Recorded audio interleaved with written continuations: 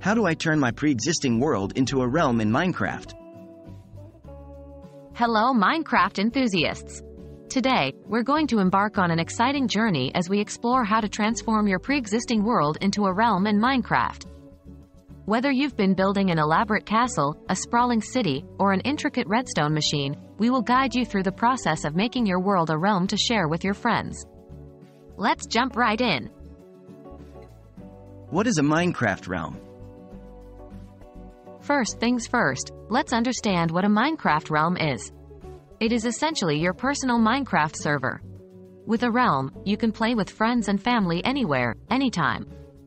Realms are easy to set up, easy to invite your friends to join, and always online, so you can access them anytime. How to create a Minecraft realm? Creating a Minecraft realm isn't a difficult task. Here's how. 1. Start Minecraft. Ensure you're logged into your Minecraft account. 2.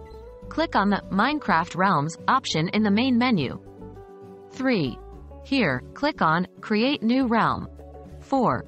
You'll be asked to choose a name for your realm and choose the difficulty level. 5. Once done, click Create. And voila, you've created your Minecraft realm. How to convert your pre-existing world into a Minecraft realm?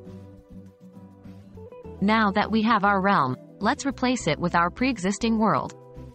Follow these steps. 1. Go to the Minecraft Realms configuration menu by clicking the pencil icon next to your realm. 2. Click Worlds and then Switch. You'll see a list of your single-player worlds. 3. Find the world you want to make into a realm, click on it, and then press Play on Realms. With this, you've converted your pre-existing world into a Minecraft realm. All you need to do now is invite your friends and start exploring together. And there you have it. You're now equipped to transform your pre-existing world into a realm in Minecraft.